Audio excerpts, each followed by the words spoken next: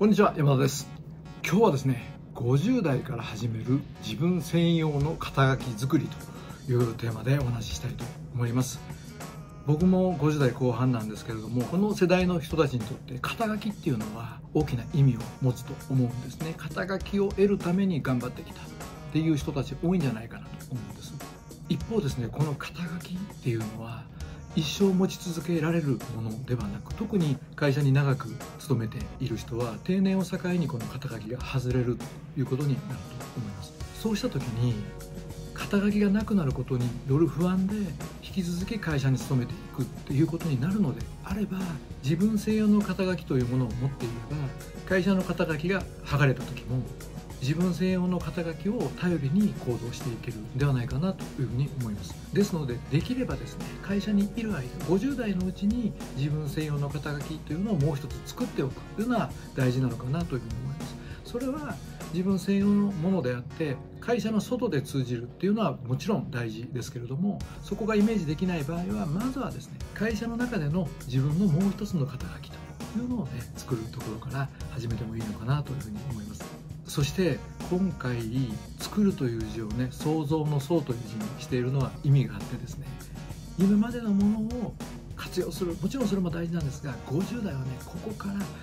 新しく材料を加えて想像していける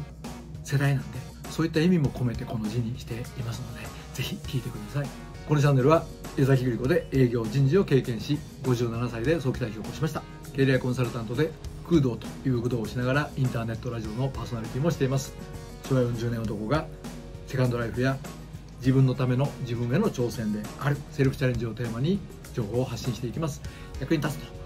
思いましたらですね高評価チャンネル登録をしていただきますと励みになりますのでぜひお願いします。自分専用の肩書きを作るというのはですね僕が皆さんに提案していきたいキャリアリフォーミングの目標ゴールになるところでもあるんですけれどもね今日はですねその全体像をお伝えすることになります。個別の具体的な行動についてはねこのチャンネルで引き続き発信していきます。自分専用の肩書きなんですけれどもこれですね構造としてはこの3つかなというふうに思っています。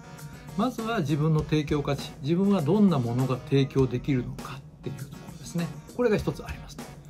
そしてその価値を手に入れることによって何が実現できるのかっていうところですね。これも明確にしておくというところが大事かなというふうに思います。そしてなりたい自分ですね、まあ、こう呼んでもらいたい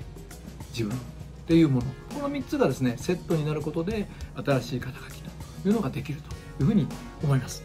ですので新しい肩書きを作るための準備としてはですねここを明らかにしておくというのはすごく大事だというふうに思います。自分が何が提供できるのか。それによって何が実現できるのか。でさらにどんなふうに呼ばれたいのか。どうなりたいのか。っていうこと。これを丁寧にですねしっかり自分の中で整理をしておく。その上で作っていく。という手順になるというふうに思います。それではどのような整理をしていくかということなんですけどもね。僕はこの3つの要件で整理をしていくのがいいというふうに思います。一つはですね自分の武器ですね。自分が何が得意なのかっていうところをはっきり自分で確認しておく。言い方を変えますと自分はどんな戦いをしていきたいのかどんな場で戦っていきたいのかっていうところをですね明らかにするということにもなるかなというふうに思います。そして2つ目はですね自分の動機ですね、まあ、動員というふうに書いてますけれども自分が行動を起こす時のスイッチになるのは何なのか。自分はどんな時に全力が出せるのか。エネルギーが発揮できるのかっていうのは人それぞれ違うと思うんですね。何かを目標を達成した時にその達成感を得るっていうことが自分の動員になる人もいるでしょうし何かを作り上げるということがモチベーションになる人もいると思いますし誰かの役に立つっていうことが強いモチベーションになる人もいると思います。それぞれ自分が何に没頭できるかっていうのは違うと思いますのでそれを自分自身が明らかにしておくというのは大事かなと。思います。そして3つ目がですね自分の貢献ということでこれはですね2つ目の動機にも関わってくる部分はあるとは思うんですけれどもね自分は誰の役に立ちたいのかっていうこと。それをですね明らかにしておくことです。よく自己効力感という言い方をしますけれどもね自分自身の存在価値っていうのを実感できることなんですけれどもそれは人から評価された時褒められた時認められた時っていうことが多いですよね。だからこそ自分は誰の役に立ちたいのか誰のためなら力が注げるのかっていうことですね。これもしっかりと自分の中で整理しておく。っていうのは大事かなと思います。この3つですねさらっと今言ってますけれどもね皆さんも想像つく通りなかなか大変です。一つ一つ時間をかけてね丁寧にやっていく必要があること。なのでこのやり方はですねまた別の動画で詳しく発信していきたいと思います。いろいろ言いましたがお前の説明分かりづらいっていう方も多いと思いますので実際僕がどんな肩書きを作ったかというところをね紹介したいと思います。これはですね最初にキャリアコンサルタントという資格を取った時にたくさんいるわけですよね。僕決して年齢若い方でもなかったんで自分の独自性っていうのをどう出していくかっていうふうに考えた時に今のやり方で自分の肩書きっていうのを作ってみましたと。いうことです。まずは自分が何が提供できるかということで言いますと僕は空洞という武道をやっています。長年やっているので空洞の中で武道的な思考というのをたくさん学んできました。そしてこれはですね人が成長していく上で生きていく上で大切なことってたくさんあるんですね。あこれはキャリアの支援っていうこと。人が自分の能力を高めていく上で活用できるなっていうところが